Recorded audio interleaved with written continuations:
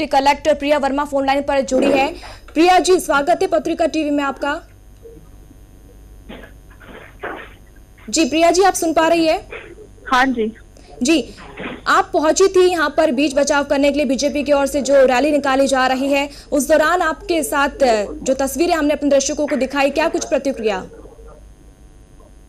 आपकी आवाज़ नहीं आ रही है मुझे क्लियर जी प्रिया जी ये बीजेपी की ओर से रैली निकाली गई थी। आप भी वहाँ पर पहुँची थी रैली में? हाँ जी। हेलो। जी जी प्रिया जी आप सुन पा रही हैं? प्रिया जी क्या आप मुझे सुन पा रही हैं? हेलो। हाँ जी हाँ जी। जी बीजेपी ने जो रैली निकाली थी सीए के समर्थन में आप भी वहाँ पर पहुँची थी झूमा झटकी हुई। क्या प्रतिक्रिया आपकी?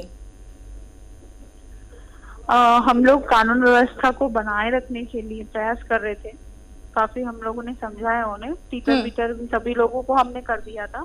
उसके बावजूद वो लोग दूसरी तरफ़ से सारे के सारे लोग इकट्ठे होकर आ गए थे। उसके बावजूद मैंने उनको सभी को समझाया। वो लोग नीचे बैठ भी गए थे कि मैंने उनसे कहा कि आप यहाँ बैठ जाइए। यहाँ बैठ करके आपको जो भी करना है आप यहाँ बैठ के आराम से कर लीजिए। तो आ, उसमें से एक व्यक्ति जो था वो ज़ोर ज़ोर से उचकने लगा और झंडा लेकर के ज़ोर ज़ोर से उचकने लगा था। मैंने उसको समझाया तो किसी ने पीछे से आकर के खींच दिए। हम्म हम्म। और फिर भीड़ उस उस घटना को देखकर भीड़ और ज़्यादा आक्रोशित हो गई। उन्हें लगा कि अब इसने कर दिया तो हम भी कुछ भी कर सकते हैं और सब लोग मुझे मतलब अ, मेरी तरफ़ दौड़े एकदम से। और फिर अ, मैं साइड में हो गई तो एक व्यक्ति पीछे से आकर के ज़ोर से अ, इसे लात मारता है। जी बिल्कुल। और प्रिय जी प्रिया जी ये भी जानना चाहेंगे कि वहाँ पर पुलिस भी मौजूद थी लेकिन क्या पुलिस स्थिति को कंट्रोल नहीं कर पाई जो आपको और कलेक्टर को भी वहाँ पर पहुँचना पड़ा? नहीं क्योंकि हम लोग कार्यपालक मजिस्ट्रेट होते हैं तो हमें वहाँ पर रहना बहुत ज़रूरी होता है। हम्म, और प्रिया जी अभी क्या स्थिति वहाँ पर है? अभी स्थिति सब नॉर्मल है। जी, चलिए, शुक्रिया हमसे जुड़ने के लिए। तो स्थिति अभी जो वहाँ पर है, वो नॉर्मल है, लेकिन ये भी हम आपको बता दें कि पुलिस बल यहाँ पर ज़रूर तैनात था, लेकिन इसके बावजूद भी यहाँ पर कलेक्टर और डिप्टी कलेक्टर को पहुँचना पड़ा स्थिति को संभालने के लिए, और इस दौरान कलेक्टर और डिप्टी कलेक्टर के साथ भी यहाँ पर झूमा झटकी हुई तस्वीरें भी हम आप तक पहुँचा रहे हैं, और कई बीजेपी कार्यकर्ता जो है, वो भी यहाँ पर घायल हुए हैं। सी को लेकर ये रैली निकाली जा रही थी, समर्थन को लेकर। लेकिन रैली की जो परमिशन है, वो बीजेपी को नहीं मिली थी और इसके बाद ये पूरा बवाल होता है। तो देखिए तस्वीर है कि कलेक्टर और डिप्टी कलेक्टर यहाँ पर पहुँचती है। ये डिप्टी कलेक्टर है, किस तरीके से बीजेपी कार्यकर्ता और डिप्टी कलेक्टर के बीच झूमा झटकी होती है। डिप्टी कलेक्टर यहाँ पर कार्यकर्ताओं को मारने की कोशिश करती है, बीच बचाव करने की, लेकिन वहाँ मौजूद कार्यकर्ताओं ने डिप्टी कलेक्टर के बाल खींचे और ये तस्वीरों में भी आप साफ़ तौर पर दिख सकते हैं, बीच बचाव करने।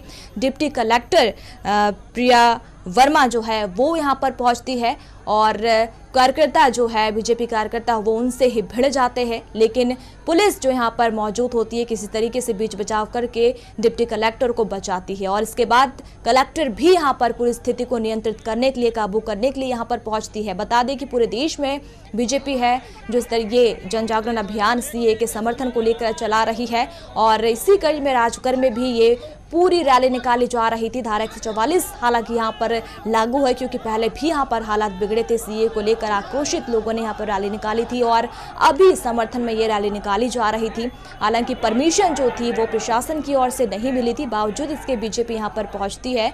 बीजेपी कार्यकर्ता आते हैं और ये रैली निकालती है और इसी दौरान ये पूरा बवाल होता है। चलिए हमारे साथ नेता प्रतिपक्ष गोपाल भार्गव हमारे साथ फ़ोन लाइन पर जुड़े हैं। गोपाल जी स्वागत है पत्रिका टीवी में आपका।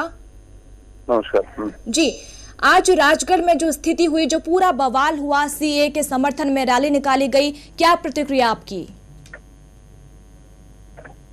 सीए जो है वो संविधान बन चुका है। संविधान का एक अंग बन चुका है। तो संविधान की रक्षा करना संविधान का पक्ष लेना संविधान की बात करना हर भारतीय नागरिक का कर्तव्य है।